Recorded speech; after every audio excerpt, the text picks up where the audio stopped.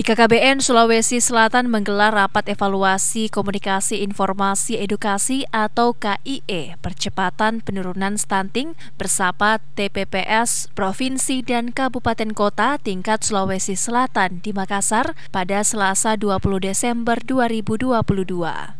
Kegiatan ini dihadiri Kepala Dinas Pemberdayaan Perempuan, Perlindungan Anak dan Pengendalian Penduduk dan KB Provinsi Sulawesi Selatan, Ibu Andi Mirna, para wakil bupati se-Sulawesi Selatan, selaku Ketua Tim Percepatan Penurunan Stunting, Deputi Bidang Latbang BKKBN Pusat yang diwakili oleh Kepala Pusat Pelatihan dan Kerjasama Internasional, Kepala Kepegawaian BKKBN Sulawesi Selatan, serta undangan. Rapat evaluasi ini bertujuan memperoleh informasi terkait pelaksanaan percepatan penurunan stunting tahun 2022 untuk digunakan sebagai bahan evaluasi hasil kerja selama ini di masing-masing wilayah. Kepala Perwakilan BKKBN Sulawesi Selatan, Haja Andirita Mariani, mengatakan bahwa apa yang dilakukan oleh tim percepatan penurunan stunting selama ini belum maksimal, sehingga tahun ini akan menjadi pembelajaran ke depannya dalam melaksanakan pencegahan dan penurunan angka stunting.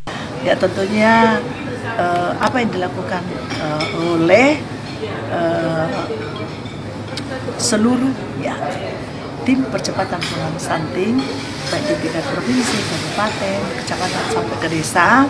Ya inilah tadi yang kita diskusikan dan eh, alhamdulillah memang tidak maksimal, tetapi sudah kelihatan bahwa kita sudah bekerja. Jadi sekali lagi kita sudah bekerja dengan beberapa data tadi yang uh, saya sampaikan bahwa uh, seluruh unsur yang masuk di dalam tim percepatan penurunan saya itu sudah bergerak. Meski belum maksimal, namun hal ini akan menjadi pembelajaran untuk para tim penggerak penanganan penurunan stunting di tahun 2023 mendatang. Ical Syahrir Fajar TV dan Fajar Radio melaporkan.